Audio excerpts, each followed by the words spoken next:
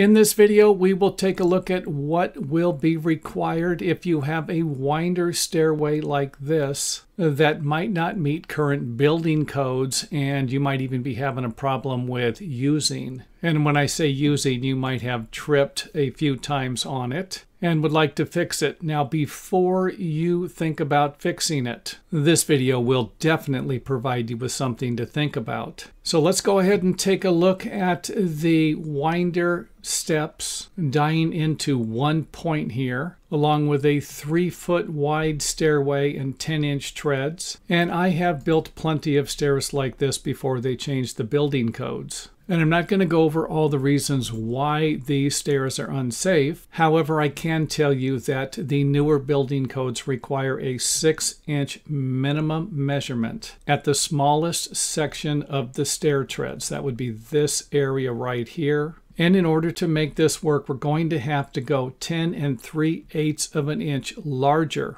in this direction here and in this direction here. So we're going to be able to work with our original three foot wide measurement here. And if the width of your stairway is a little shorter or longer, then you might need to adjust this measurement here. And most of the time when we have a situation like this, where we want to extend the stairway 10 and a half inches in this direction, we're going to have to move a wall. And that's probably the biggest reason why you're not going to want to do this type of stairway modification.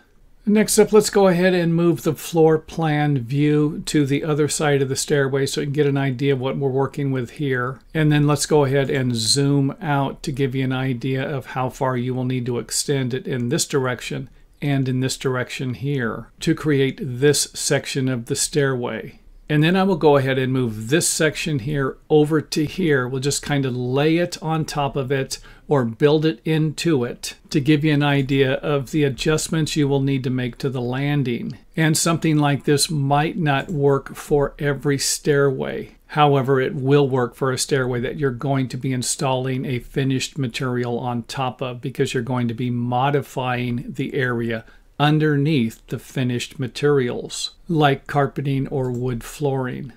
So again, you can kind of see here where the old stairway is over here and over here and up here and what is going to need to be added to it to make it work. For example, you might need to add a section like this, section like this, and a section like this. And again, this area will need to be located underneath the finishing of the stairway. And even though this video wasn't meant to provide you with building instructions, I can always provide those for you. Let me know in the comment area if you need step-by-step -step instructions. And if I get enough viewers who are interested in it, then I will definitely make another video. And for those of you who do not, you just need a general idea or even a few reasons why you might or might not want to do something like this then this video will have done its job. So in reality, these would just be small sections that you would frame on top of each other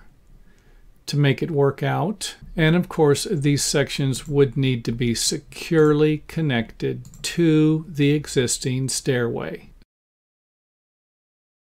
Here is another video inspired by one of our viewers who was having a difficult time figuring out how to interpret the building code for a winder stairway, dealing with the walk line that is usually going to be associated with a concentric circle. And basically a walk line comes in 12 inches from the inside of the stairway, whether it's curved or straight. So here we have a walk line and the walk line for this particular stairway produces steps at these points, the point along the walk line that are all the same size to check this stairway. And that's not going to be the case all the time when we start mixing squares and rectangles with circles, trying to create a stairway like this one, or even something like this, or even something like this where we move the shape of the stairway a little further away from the center of the circle in hopes of creating a walk line path that will produce equal measurements for each step. And that wouldn't be what is happening here, where you can see that if we were to draw a walk line 12 inches away from the inside of the stairway, that we will produce different size steps along the path. Path. However, keep in mind that some of these steps will be the same depending upon how the center point is used for the stairway. And this is almost identical to the example the individual who was trying to figure out how they could get something like this to work. And in most cases, when you have a shape like this, it will be difficult to create a walk line using a concentric circle from the center point when the building codes are asking for a walk line that runs parallel to the inside of the stairway and producing different measurements. And again, here's another example of coming off of a center point where we're going to have the same measurements here for some of the treads. However, this right here probably isn't going to be approved by your local building department, especially if they're looking for units of measurement along this path for the stair steps to be the same. And the only way I can think of to change that would be to change this to a curve or a circle where we can have a walk line that will produce equal sized steps along the path instead of dealing with something like this. Next up, let's go ahead and take a look at how winders are affected by concentric circles and how they might be interpreted by your local building department. So here we have a three-step winder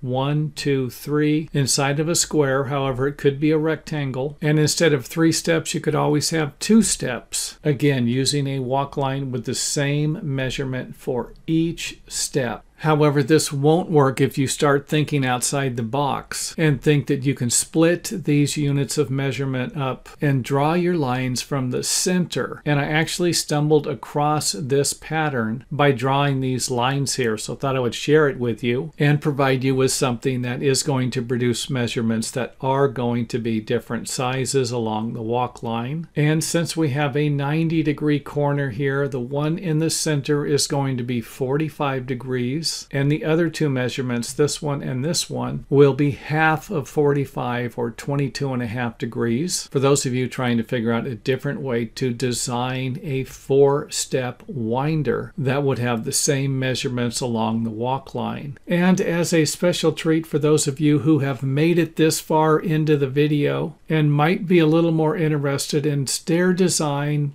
building, and the interpretation of building codes, then this might be something you can use as an argument if you're looking for some type of creative interpretation that will allow you to build this type of stairway, even though the measurements aren't going to be consistent along this type of walk line. However, they will if we use our concentric circles, coming 12 inches off for our walk line and then curving around the winder and then coming back to a straight line instead of continuing the straight line through all the way up. So with this interpretation of the building code, we will produce equal sized steps along the curved concentric circle walk line. And this doesn't mean you need to round off this section of the stairway. However, it might be if you get a little carried away with your interpretation of this building code and somebody decides that this is a curved stairway instead of a winder. And hopefully if I did my job right, you now have another way to build or design winder and curve type stairways that might meet your local building code. And thanks for watching. Also, don't forget to visit our website. We have an organized list of our videos there. You might have a difficult time finding that anywhere else.